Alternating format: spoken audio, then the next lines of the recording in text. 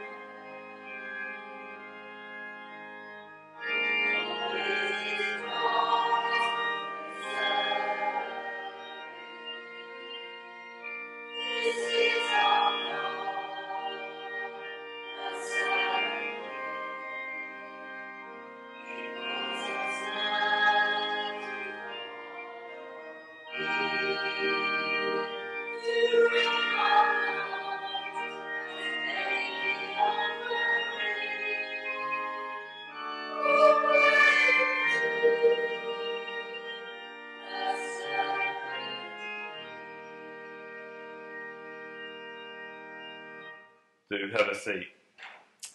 I should perhaps say uh, it, this is a communion service, despite the technology being in the way at the moment. It will get moved, and we will share communion later on together. But as we do now, let's prepare our hearts to worship God.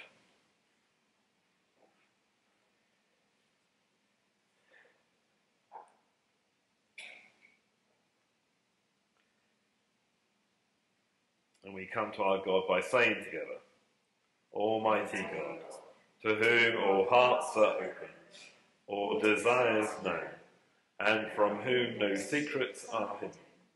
Cleanse the thoughts of our hearts by the inspiration of your Holy Spirit, that we may perfectly love you and worthily magnify your holy name, through Christ our Lord. Amen. And we bring before our forgiving God the areas of our lives where we may have fallen short of loving Him and loving others. Our Lord Jesus Christ said, The first commandment is this Hear, O Israel, the Lord our God is the only Lord. You shall love the Lord your God with all your heart, with all your soul, with all your mind, and with all your strength. And the second is this Love your neighbour as yourself. There is no other commandment greater than these. On these two commandments hang all the laws and the prophets. Amen. Amen. Lord, have mercy. And God so loved the world that he gave his only Son, Jesus Christ, to save us from our sins, to be our advocate in heaven, and to bring us to eternal life.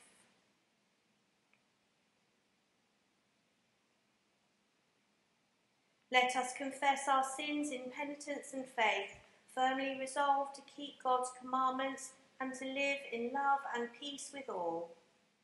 Most merciful God, Father of our Lord Jesus Christ, we confess that we have sinned in thought and word and deed. We have not loved you with our whole heart. We have not loved our neighbours as ourselves. In your mercy, forgive what we have been. Help us to amend what we are, and direct what we shall be, that we may do justly, love mercy, and walk humbly with you, our God. Amen.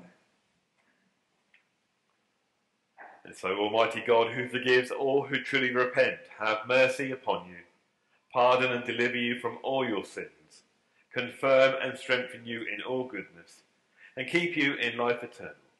Through Jesus Christ our Lord. Amen. Please stand if you're able to as we continue our worship of God. We say together, Glory, to God in the highest, and peace to his people on earth. Lord God, heavenly King, almighty God and Father, we worship you, we give you thanks, we praise you for your glory. Lord Jesus Christ, only Son of the Father, Lord God, Lamb of God, you take away the sin of the world. Have mercy on us. You are seated at the right hand of the Father. Receive our prayer. For you alone are the Holy One. You alone are the Lord. You alone are the Most High. Jesus Christ with the Holy Spirit, in the glory of God the Father. Amen. Please be seated. Let us pray. Gracious God, you called us to fullness of life. Deliver us from unbelief and banish our anxieties with the liberating love of Jesus Christ our Lord. Amen. We have our first reading.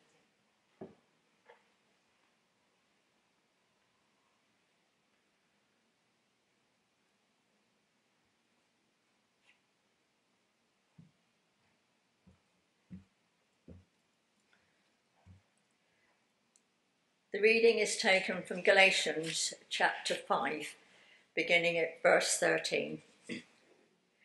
You, my brothers, were called to be free, but do not use your freedom to indulge the sinful nature. Rather, serve one another in love. The entire law is summed up in a single command love your neighbour as yourself. If you keep on biting and devouring each other, watch out, or you will be destroyed by each other. So I say, live by the Spirit, and you will not gratify the desires of sinful nature. For the sinful nature desires what is contrary to the Spirit, and the Spirit that is contrary to the sinful nature. They are in conflict with each other, so that you do not do what you want. But if you are led by the Spirit, you are not under the law. The acts of the sinful nature are obvious sexual immorality, impurity and debauchery, idolatry and witchcraft, hatred, discord, jealousy, fits of rage, selfish ambition, dissensions, factions and envy, drunkenness, orgies, and the like I warn you, as I did before, that those who live like this will not inherit the kingdom of God. But the fruit of the Spirit is love, joy, peace, patience, kindness, goodness, faithfulness, gentleness, and self control. Against such things there is no law. Those who belong to Christ Jesus have crucified the sinful nature with its passions and desires. Since we live by the Spirit, let us keep in step with the Spirit. Let us not become conceited, provoking, and envying each other. This is the word of the Lord. Thanks be to God.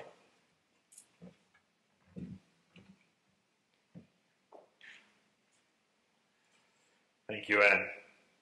Uh, if you remember, uh, we started a series a little while ago, and in a little while, Polly will come and continue that series for us on fruitfulness on the front line. Where, where are, you know, how are you fruitful for God wherever you are during the week?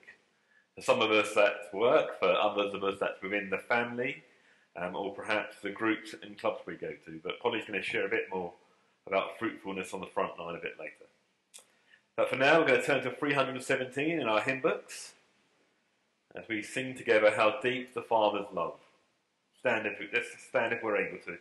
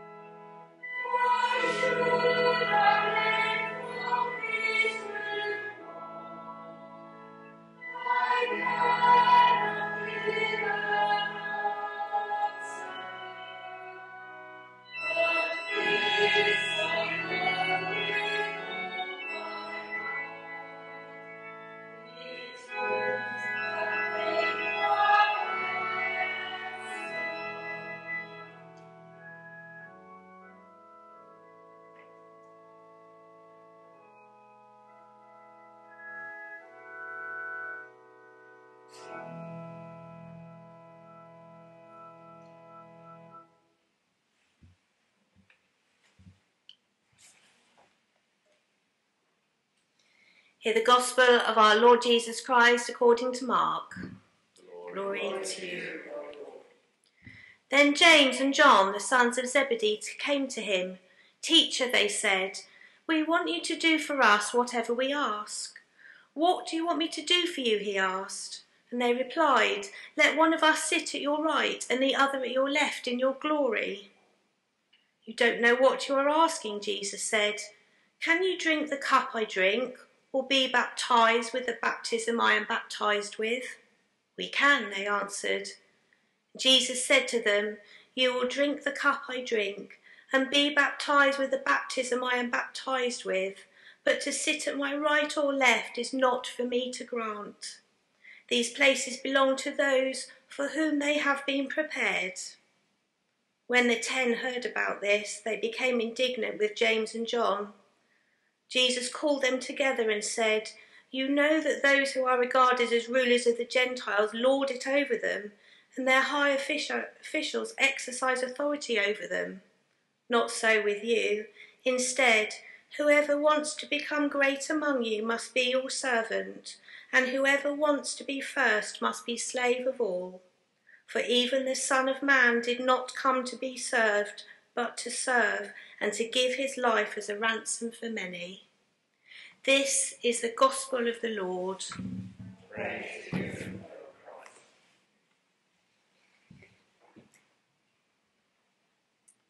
Do you have a seat, unless your name's Polly. You want me to do it, do you? The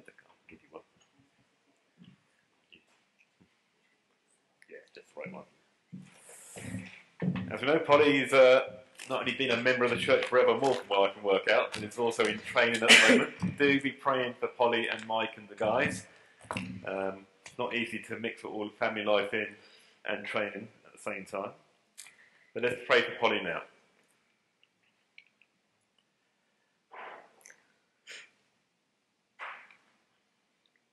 Father, as Polly comes to share what you have placed on her heart uh, for this series of fruitfulness on the front line, we pray that uh, you will highlight to us our front line, and you will highlight to us, through your Spirit, the words that we need to hear, particularly from Polly today.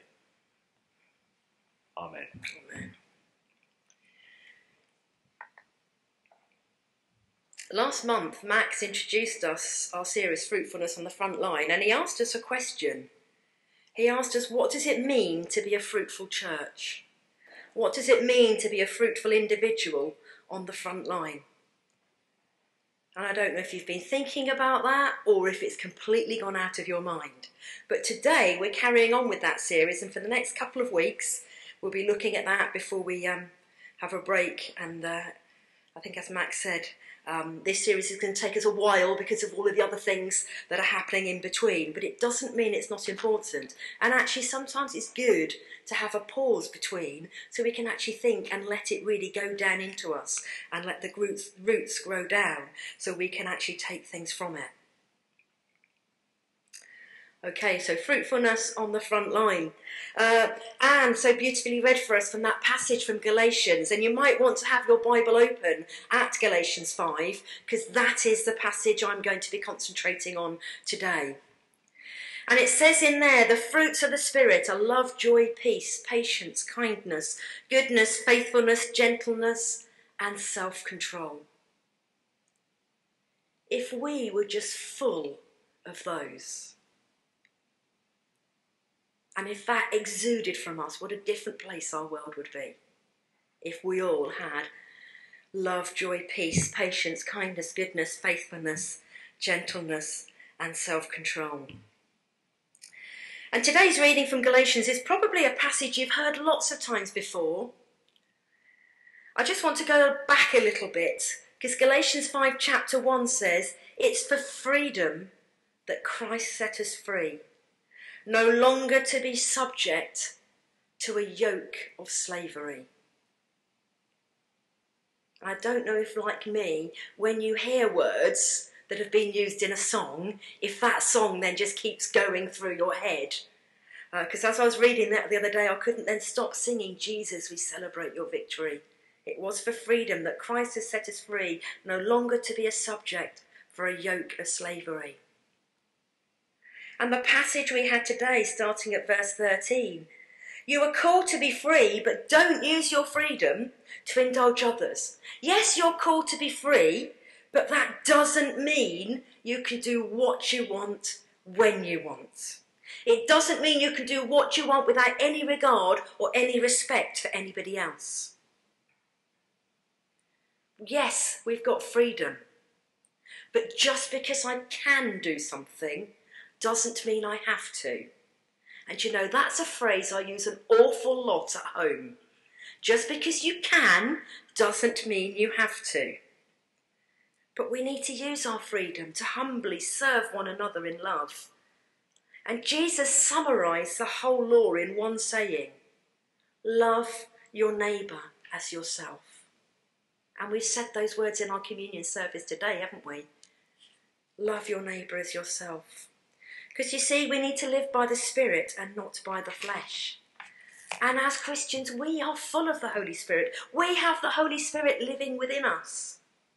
Being led by the Spirit means we're not under the law, but instead we can display the fruit of the Spirit. And what I've put up there is the words we had eh, in our passage from the NIV Bible. But actually, there are other versions of that if you look at other um, editions of the Bible. Sometimes it says forbearance instead of patience. Sometimes it's generosity instead of goodness. Sometimes it's gentleness instead of faithfulness. In the message, it says, Don't use your freedom as an excuse to do what you want and destroy your freedom. Rather, use your freedom to serve one another in love. That's how freedom grows. What happens when we live God's way? He brings gifts into our life, much the same as the way that fruit appears in an orchard. Not limited to that. And I don't think this passage in Galatians was ever meant to be this is a set list and these are the only fruits of the Spirit that you will ever get. I think actually this is an example of the fruits that there can be. And earlier this year, I spoke to you about my amazing raspberry bush and how full of fruit it's been this year. And every time I thought it was the last crop, it just kept on going and kept on going. And as I looked out in my garden yesterday at my raspberry bush, I actually saw a real mess. And I'm just thinking, actually, how much of that mess do I need to cut back this winter? To let it flourish again next year. And it got me to think about the fruits in my life and how at times we need to be cut back, we need to be pruned to let that fruit grow. Because you see, fruit doesn't just happen, it needs to be cultivated. And if we want to model godly character, we need to be fruitful. That means there are going to be tough times when we need to be cut back. It also means we need to let our roots grow down into God. Now, when I was um, about 18 and I was on a Scripture Union holiday, um, they read this verse to us from Colossians 2. Colossians 2 6 to 7. And they said, We want you to learn this. And I'm so pleased I did learn these verses. And I learnt it from the Living Bible. And now, just as you trusted Christ to save you, trust Him too for each day's problems. Live in vital union with Him. Let your roots grow down into Him and draw up nourishment from Him. See that you go on growing in the Lord and become strong and vigorous in the truth you were taught. Let your lives overflow with joy and thanksgiving for all He has done. And for me, when I was thinking about fruitfulness on the front line, I think actually, if I'm trusting God for every day's problems, because let's face it, every day does bring problems, doesn't it? We don't just sail through the world. And those of you know me well, actually, these last five weeks have been lots of problems. Massive, massive problems. But that doesn't mean God isn't here with us in the problems. But it does mean I need to let my roots grow down into Him. And why do I do that? So I can draw up nourishment from Him. Your roots grow down so you can draw up nourishment, but also your roots grow down. If you've got strong roots, when those storms come, it's hard to be knocked over, isn't it? If you don't have roots, you get blown away. And then I love the way this is active. See that you go on growing in the Lord. We don't grow once and stop. We need to keep on growing in the Lord and become strong and vigorous in the truth. So let your lives overflow with joy and thanksgiving for all He has done. So, I've got a question for you. Which of the fruits do you need more of in your life?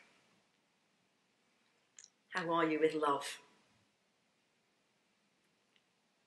Do you know, sometimes that people, there's some people it's easy to love, and there's some people it's not easy to love. And even with those people who are easy to love, those who are close to you, there are times when it's quite hard to love them. Particularly when you've had teenagers and they throw things back in your face, but actually you just got to be there with love. What about this one? How are you with joy? Do you let joy overflow? Peace. Do you know, we live in such a wonderful part of the country, don't we? That actually, when I need peace, I so often go to nature, go to the sea, go to the countryside, and just find that peace. Where do you find peace? I once had this poster on my bedroom wall. Lord, grant me patience, but please hurry. Patience is one that I really do struggle with. I do want more of it, but I want it now. And actually, sometimes we just have to learn to wait, don't we? And that waiting can be so hard. What about kindness? What are the acts of kindness that you do? I'm going to challenge you this week just to do one random act of kindness. Could be to a family member, could be a neighbour, could be somebody you don't even know. What will that random act of kindness be? It could be as simple as a smile and a hello as you walk into a shop. It could be as simple as holding a door for somebody, helping with their bags. It could be going round to that neighbour and just checking, hi, are you okay? Because, you know, during the pandemic, we were quite good at that, looking out for one another. And I think as we've got back into life, perhaps we've forgotten how to be kind. Goodness, who doesn't want a bit of goodness in their life?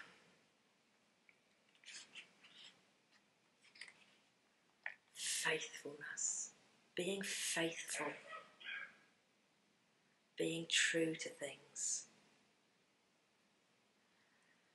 How lovely it would be at the end of our life to hear somebody say, You're my good and faithful friend. Through it all, you were faithful gentleness. Let's not plough through with our heavy boots, but be gentle with one another. Sometimes, along gentleness, I think of being calm as well. And uh, this Thursday, I was um, I was out and about with Joe, my fourteen-year-old, because he had an inset day. And so we decided, he decided that we were going to go to the Garage Lounge in Southsea for our breakfast, because that's what he really wanted to do. Uh, and then after that, I said, come on, what else should we do? And we just went to Southsea Seafront. We spent a bit of time on the pier, and then we just went and stood by the sea and threw stones in the sea, which has always been one of my boys' favourite things to do. And uh, it was interesting because I had all sorts of things running through my mind. all sorts of issues I'm trying to sort out for Jack.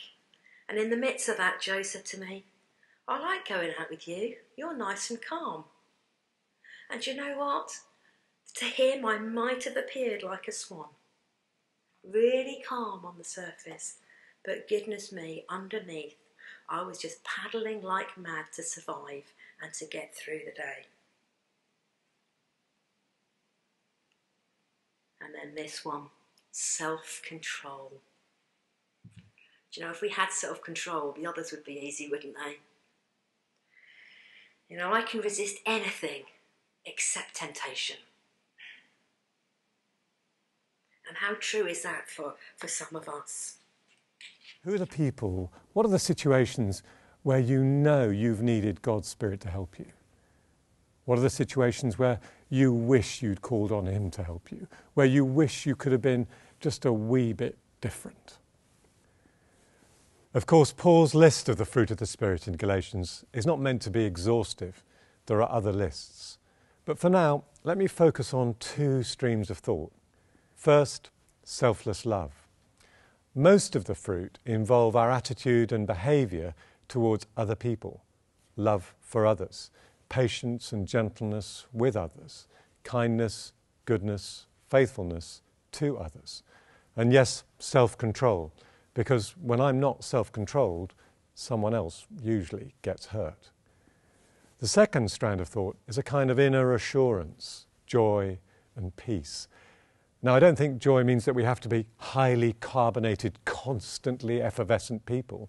There are plenty of joyous Christian people who aren't extroverts, but there's just something about them, isn't there? Something luminous that radiates out, something that makes you just pleased to see them walk into a room. In Galatians, Paul summarizes it all as freedom. Christ's grace and love frees us from the power of sin and frees us from the hamster wheel of legalism. His love graces us with that deep assurance of God's love, which gives us joy and peace and enables us to be other centered. As the Apostle John puts it, we love because God first loved us. So, godly character springs from our new identity in Christ. We are new creatures. Godly character ripens from the power of His Spirit working in us in His own quiet and determined way.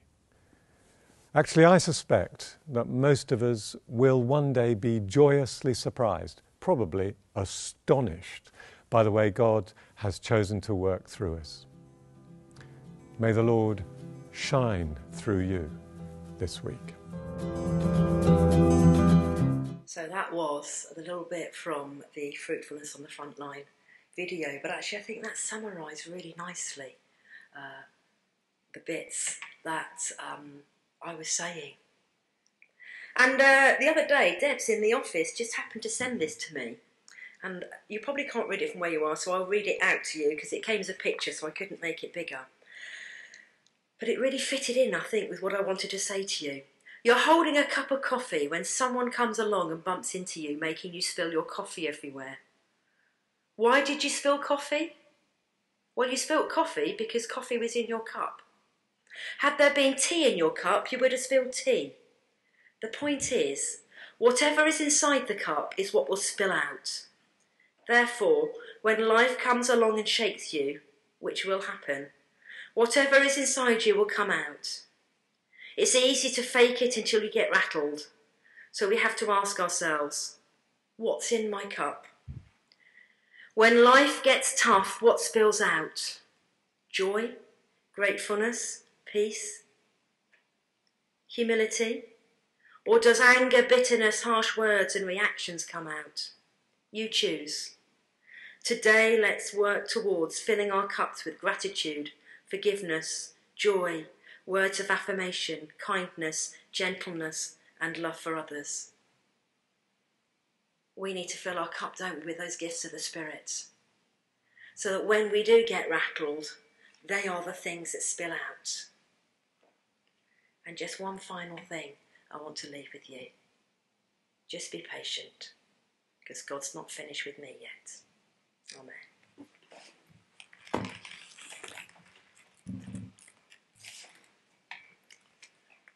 Thank you very much, Polly.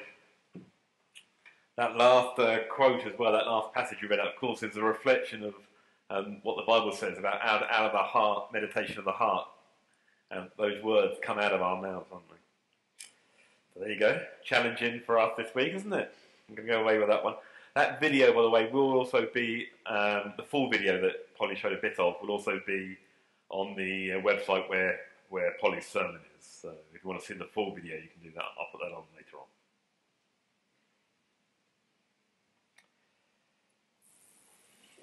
So let's um, stand if we're able to as we uh, declare together our faith in our God. We say together, I believe in God, the Father Almighty, creator of heaven and earth. I believe in Jesus Christ, his only Son, our Lord, who was conceived by the Holy Spirit, born of the Virgin Mary suffered under Pontius Pilate, was crucified, died, and was buried. He descended to the dead.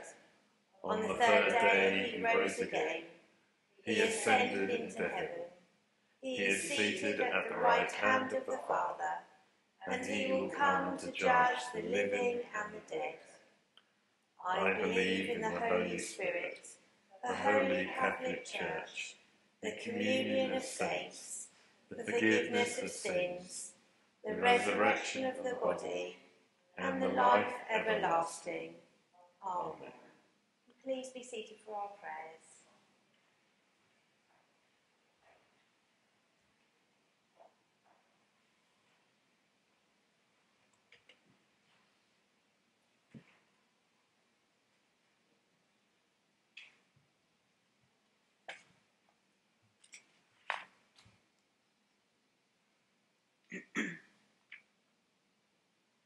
Let us pray. Blessed are you, Lord our God, for you give us life, you give us love, you give us yourself. May we in turn learn to give our life and love and ourselves to you. Almighty God, we pray for those who occupy high office in the nations of the world and we pray for our own newly reformed government. Help them to govern wisely and well, and to seek the welfare of all their people. Lord, in your mercy. We pray for all who are exploited by others, those who live in fear of violence, and those denied freedom of speech and movement we bring to you the people of Ukraine, of Syria, of Iraq, and all refugees fleeing their homes and countries. We remember too our own armed forces, often serving far from home, and pray that you will be with them, their families and loved ones. Lord, in your mercy. Hear Dear Lord, we ask that you would look with compassion on those who mourn. We especially think of the parents and families of the infant children and their teachers murdered in Thailand, and those who died in Donegal. Give them consolation and courage, and we pray that in your time they may come to find comfort and peace. Lord, in your mercy, hear our prayer. We pray for the children and young people of our parish. Help us to appreciate them, be open to their insights, and to nurture their faith help those who will prepare for and help to lead our children in the Space Cadets program planned for half term. May it bring an insight to them of your world and your love for them. Lord, in your mercy, hear our prayer. We pray for our own parish, for Max, our rector, and Susie, and for Jill, our curate. We pray also for the church wardens and the PCC that they may prayerfully carry out their duties. We bring before God all who are sick, in mind, body, or spirit, and are mentioned on our weekly sheet, and those for whom we are concerned or worried. Also, all whose situations weigh heavily on us, asking for his healing and peace. We pray too for the families of those who have recently died, including Kevin Vosper. In a moment of quiet, we remember those close to our own hearts.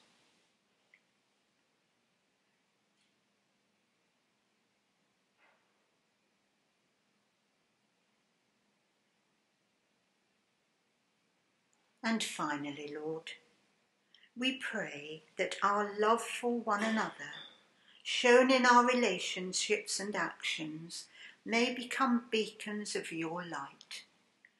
May all those who we meet come to know that we are your disciples. Merciful Father, accept these prayers for the sake of your Son, our Saviour, Jesus Christ. Amen.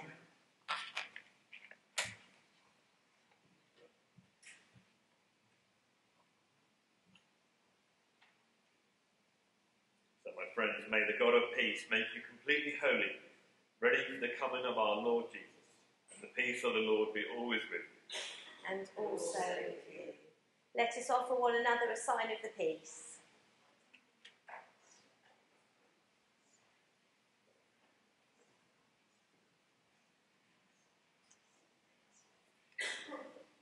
And we can grab our hymn books and turn to 174, where we shall sing to our Lord, Father of Heaven.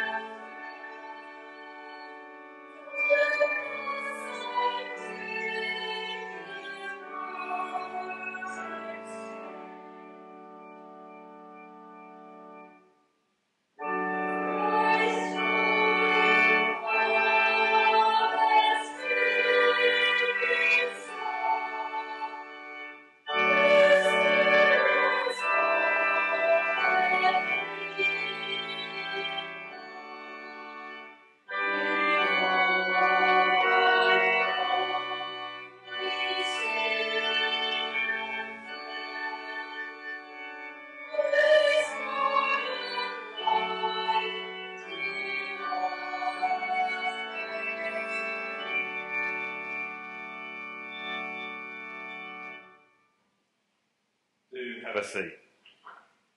We're going to be using prayer B as we normally do on page 9.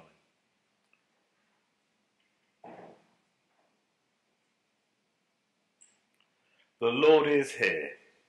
His Spirit is with us. Lift up your hearts. We lift them to the Lord. Let us give thanks to the Lord our God. It is right to give thanks and praise. Father, we give you thanks and praise for your beloved Son, Jesus Christ, your living word, through whom you have created all things, who was sent by you in your great goodness to be our Saviour. By the power of the Holy Spirit, he took flesh as your Son. Born of the Blessed Virgin, he lived on earth and went about among us. He opened wide his arms for us on the cross, and he put an end to death by dying for us, and revealed the resurrection by rising to new life. So he fulfilled your will and won for you a holy people. Therefore, with angels and archangels, and with all the company of heaven, we proclaim your great and glorious name, forever praising you and saying, Holy, holy, holy Lord, God of power and might. Heaven and earth are full of your glory. Hosanna in the highest. Blessed is he who comes in the name of the Lord. Hosanna in the highest. Lord, you are holy indeed, the source of all holiness. Grant that by the power of your Holy Spirit, and according to your holy will, these gifts of bread and wine may be to us the body and blood of our Lord Jesus Christ, who in the same night that he was betrayed took bread and gave you thanks. He broke it and gave it to his disciples, saying, Take, eat. This is my body which is given for you. Do this in remembrance of me. In the same way after supper he took the cup and gave me thanks. He gave it to them, saying, Drink this, all of you. This is my blood of the new covenant, which is shed for you and for many for the forgiveness of sins. Do this as often as you drink it in remembrance of me. Praise to you, Lord Jesus. Dying, you destroyed our death. Rising, you restored our life. Lord Jesus, come in glory. And so, Father, calling to mind his death on the cross, his perfect sacrifice made once for the sins of the whole world, rejoicing in his mighty resurrection and glorious ascension, and looking for his coming in glory, we celebrate this memorial of our redemption as we offer you this, our sacrifice of praise and thanksgiving. We bring before you this bread and this cup, and we thank you for counting us worthy to stand in your presence and serve you.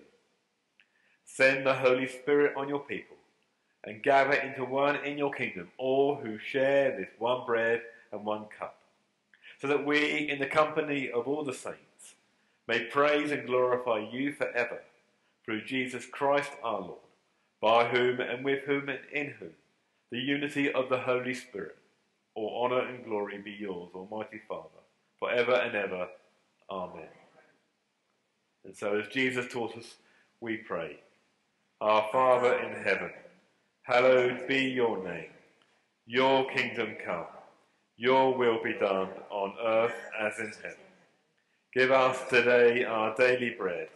Forgive us our sins, as we forgive those who sin against us. Lead us not into temptation, but deliver us from evil. For the kingdom, the power, and the glory are yours, now and forever. Amen. We break this bread to share in the body of Christ. Though we are many, we are one body, because we all share in the one bread. Lamb of God, you take away the sin of the world. Have mercy on us. Lamb of God, you take away the sin of the world. Have mercy on us.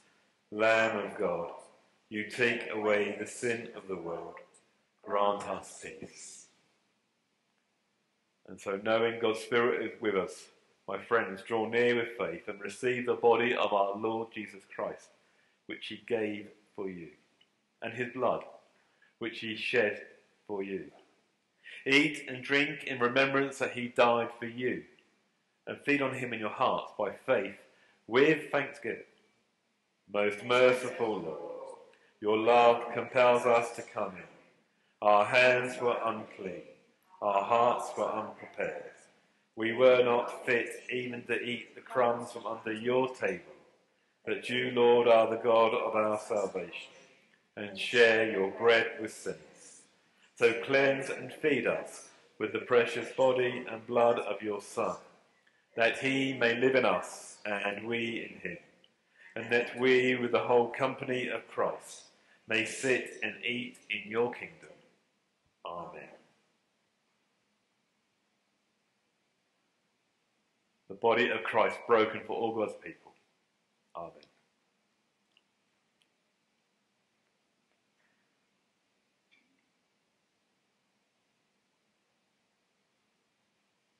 Blood of Christ shed for all God's people.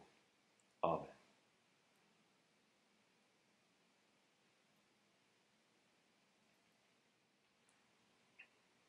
Let us pray. Lord, we pray that your grace may always precede and follow us, and make us continually to be given to all good works through Jesus Christ our Lord. Amen. And we say together, Father of all, we give you thanks and praise that when we were still far off, you met us in your Son and brought us home. Dying and living, he declared your love, gave us grace, and opened the gate of glory. May we who share Christ's body live his risen life. We who drink his cup bring life to others. We whom the Spirit lights give light to the world. Keep us firm in the hope you have set before us so we and all your children shall be free, and the whole earth live to praise your name. Through Christ our Lord. Amen. Well, thank you for sharing communion with us today. It's been lovely to do that. Just a couple of family notices. You got your notice sheet, so I won't read that to you. Uh, but um, just as uh, Sandra was praying for, do be praying for the Bedhampton Space Cadets over half term, um, uh, beginning to uh, fill up as well. So if you know anyone who would like that, there are some of these at the back. Um, and recommend to them they book in sharpish just to make sure they get a place for that. And also to say as well, um, uh, on the 6th of November, we will have our memory service that we normally have uh, around this time of year. And so there are some of those at the back. Do be sharing those, particularly with those you know who have lost loved ones over the last few years. That's to be led by our wonderful Kira. So that's good. Uh, but for now, we're going to turn in our hymn books to our last hymn of worship, 387, as we sing Jesus is Lord. Let's stand we're able to.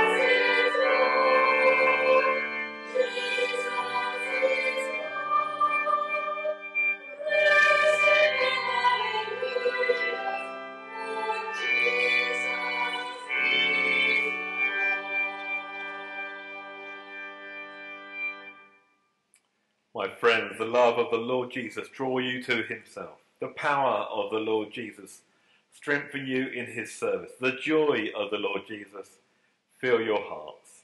And the blessing of God Almighty, the Father, the Son, and the Holy Spirit be among you and remain with you always. Amen. Go in peace to love and serve the Lord.